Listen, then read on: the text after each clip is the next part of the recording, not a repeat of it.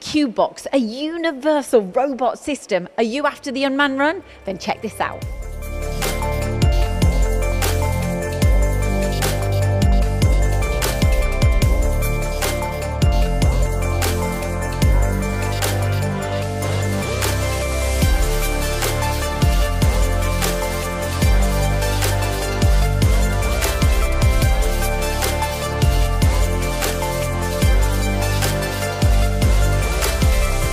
So the CubeBox, Pete, this is a Yeah. seriously flexible system. Fantastically flexible piece of kit. So the CubeBox is designed and developed by Tezmaksan Robot Technologies from uh, Istanbul, Turkey. Uh, they've got 150 units across 27 countries uh, and have been manufacturing since 2009. Uh, there's quite a range of the CubeBox units. Um, so it can come, as you can see here, as a drawer-based system with five to eight drawers, uh, or we can have it configured with a rotary table or a conveyor system. Um, it can indeed feed one machine, as we've seen set up here on a Brother F600, but it can also feed two machines. Um, so we can, we can double the capacity on the machine uh, and get unmanned running across both. Um, there can be different styles of technology as well. So it could be a machining centre, it could be a turning centre with different time? control systems. Yeah, at exactly the same time. One could be added uh, uh, initially with the investment in the automation system. The second could be added at a later date. So what are the capacities on this system then? So this particular system here is a 12 kilogram uh, payload FANUC robot. Uh, it's double gripper system as we can see here, uh, and also it's uh, it's a five draw setup that we've got uh, configured with templates. But we'll have a little look at the uh, the usability and the, and the configuration of the templates later. I mean, it's so small. Right, we'll talk about the software in just a few moments' time. Yeah, sure. So yeah, just pausing as we go past, get round the back of the machine. We'll have a, a closer look at the RoboCam uh, software a little later with our applications engineer. Perfect.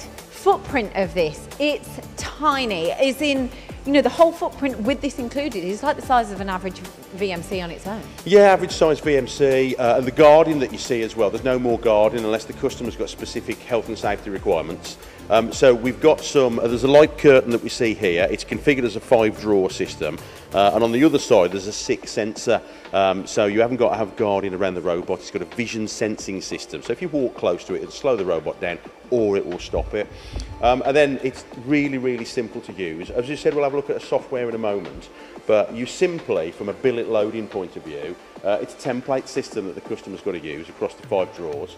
Um, and what you simply do is load the billet to front and right hand side of the slot in each of the templates. Now that template is worked out by a CAD CAM system and it should be noted there's no teaching to do with the robot for that template system. It's developed in the CAD CAM system, a DXF is loaded into the uh, controller for the robot system and the robot knows each pickup point that it's got. So simply from a loading point of view, we pull the tray to the position that we've got here, we load the billet to the front and right hand side of the slot, we load up as many as we need because we can tell the system what positions are loaded or the whole pallet and then we simply slide it into position and then we've got a lock that we've got to make on the control system tell the robot it's ready to go. Who needs really this? simple. Who needs it? So typically, I- you know, we look at OEMs and SMEs, but typically SMEs. So this is going to be uh, full uh, automation of existing machines. I say it can be added to other manufacturers' machines, not just our own. Um, but typically it's going to be the subcontract OEM owner driver type business that's looking to sweat the asset that they've got. Uh, typically they've been running uh, single shift. They know they've got to get up to two, maybe three shift, but they're struggling with workforce, uh, shift patterns, etc. So it's typically it's going to go into that kind of market. It's going to be about facilitating the hours on a machine tool.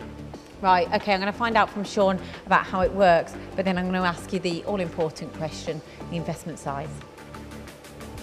Sean, you're here to show me how easy the software is to work with the machine. Yeah, so it's uh, preloaded with RoboCam. Um, obviously, before it goes out to the customer, we'll be setting it up for the parts that they'll be making to begin with. Um, the setup procedure for all the new jobs is very straightforward because of the app layout of the RoboCam software. Um, we've also got the interchangeable gripper on there, so it's fully adjustable for different parts, different sizes, It's helping with the unmanned run, isn't it? Absolutely. Uh, we've also got an air blow on there to assist in removing swarf and coolant before it loads and unloads, making sure it's all super clean. Sean, I've been told this is a really easy setup. Yeah, it's very easy from scratch at Whitehouse before it goes out to the customer. Um, but if the customer was to uh, set up new jobs, uh, we can fly through the setup procedure for a new job. Uh, it made it nice and easy. It's like an app layout, like your phone. Yeah. Um, you can fly through. You've got your measurements for your billet. So yeah, setting up a job, you- you're loading your DXF file of the template, which the, the billets sit in. We've got a preloaded set of routines, whether it's one machine, two machines, uh, regrip, turnover, all of that, uh, and then you're ready to go. All set up for the unmanned run, making your go, life yeah. easier. Yeah, Easy. easy peasy. So the CubeBox, we found out that it's really easy to use. It's flexible, so why go for it, Pete?